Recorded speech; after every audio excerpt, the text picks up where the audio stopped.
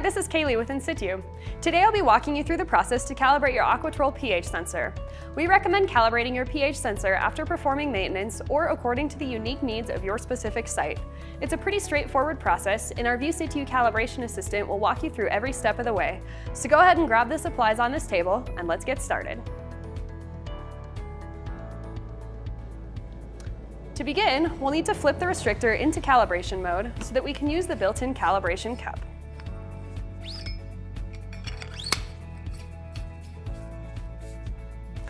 If you're not using a communication device like a wireless TROLL Com, turn the instrument upright to turn on the LCD screen and activate Bluetooth. Now you're ready to open our VuSitu mobile app and connect to the instrument. Tap Calibrations, then choose pH. VuSitu will allow you to choose how many calibration points you want to perform. Today I'll be doing a three-point calibration. VuSitu will display on-screen instructions that can help walk you through the process if you get stuck. You can perform this calibration in any order. I'll start with the first calibration point of pH 4. You'll want to rinse the sensor, first with DI water to remove any residual from deployment.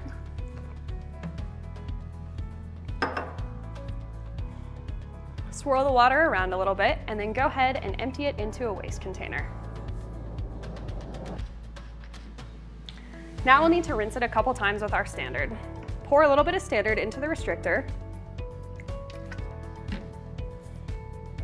mix it around, and empty it into the waste container. We'll give it one more rinse.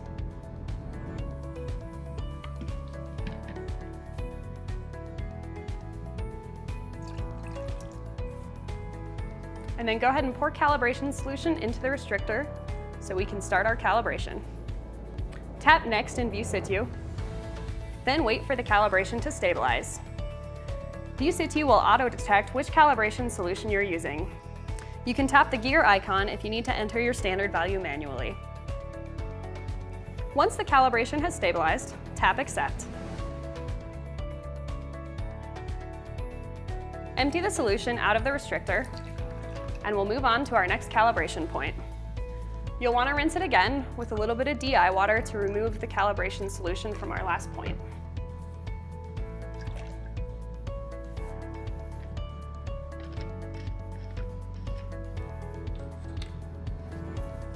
Add some of your next calibration standard into the restrictor.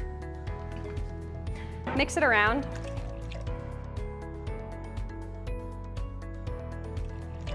And empty into the waste beaker.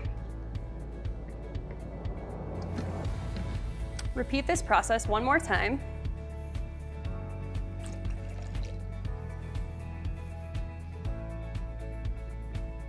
And then add standard into the restrictor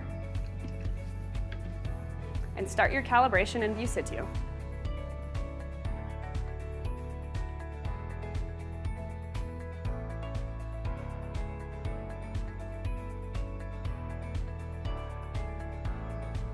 When the calibration is stabilized, tap Accept. Empty the calibration solution into your waste container, and then rinse the sensor again with DI water.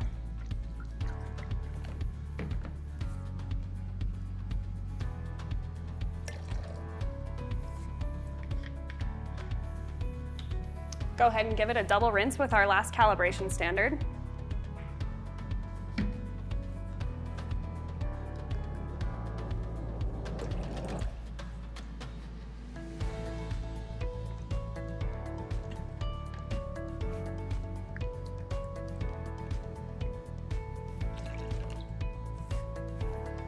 And then we'll pour the solution into the restrictor so that we can start our calibration.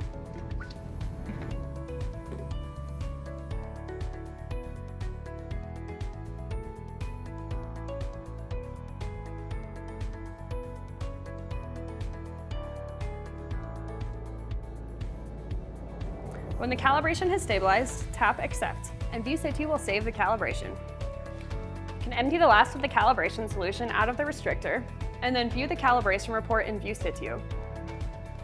Check the calibration report to make sure that the values are within the ranges on the screen. If any of the values are outside of range, repeat the calibration. You may need to perform maintenance on your sensor, or you may need to replace your sensor if it's not calibrating properly. I'll include a link in this video if you need a refresher on the pH maintenance process. Once you've reviewed the calibration report, you can close it and it's automatically saved in your VuSitu data files. If you'd like, you can also calibrate ORP. VuSitu will automatically detect ZoBell standard. If you're going to be storing your sonde for a while, fill it about halfway with a little bit of In-Situ storage solution and reinstall the end cap. Never store a pH sensor dry or in DI water. When you're ready to deploy, don't forget to flip the restrictor into deployment mode with the holes away from the center of the instrument. We hope you found this tutorial helpful. For more information, check out the links in the video description to access our manuals, FAQs, and more. And as always, our friendly support team is available 24-7 to assist you at 1-970-498-1500, option 2.